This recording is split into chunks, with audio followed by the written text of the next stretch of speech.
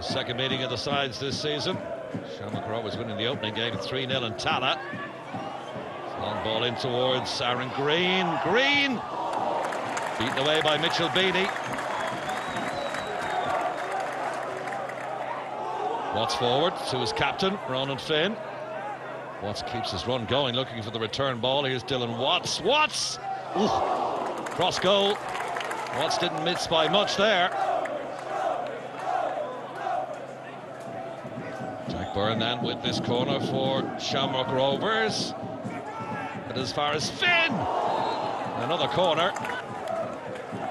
Finn wondering how that didn't hit the target. Well, as the sun sets at the showgrounds, free kick out on that left-hand side. Regan Donelon's going to take it in towards David Cawley. Oh, just couldn't keep the header down. And our search for the first goal continues. Here's Coughlan into Fordyce. Fordyce! Oh! Daryl Fordyce! 55 minutes in, the former Northern Irish under-21 international with his first goal for Sligo gives the home side the lead.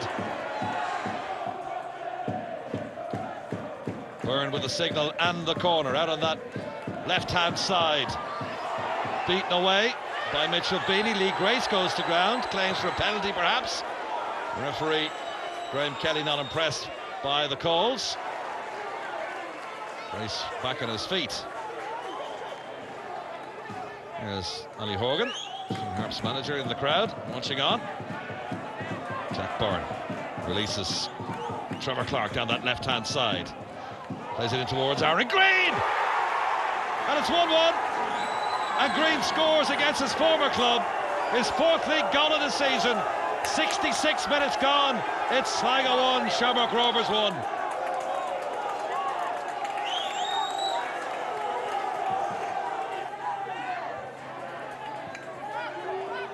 Here's Cawley, shot charged down.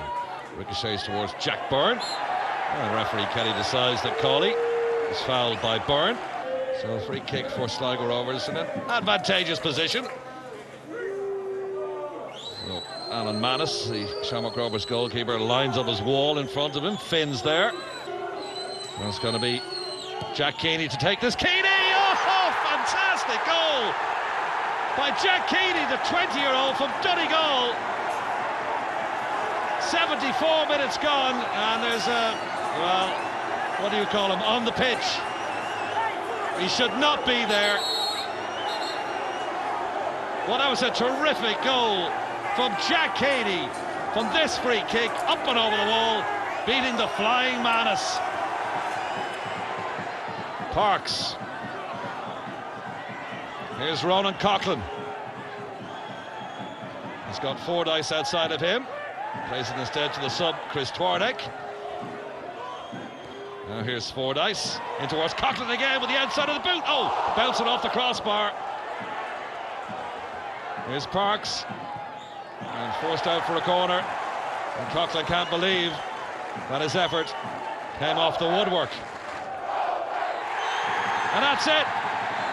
It's four unbeaten now for Sligo Rovers, and that's a prize scalp of the league leaders. The two managers shake hands. It's finished. Sligo Rovers 2, Shamrock Rovers 1.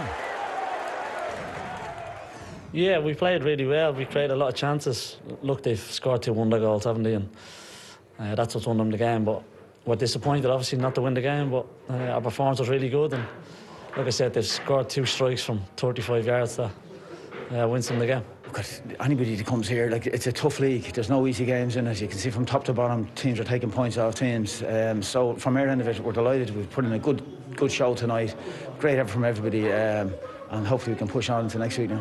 The strikes they hit, they'll try them hundred times and they go over the bar. The, the one, the first one is. Uh, is an unbelievable hit. It bounces up on his left foot and he catches the top corner. Um, it's just one of them nights. Wherever they hit, I think they had two uh, shots and goal and two of them go in.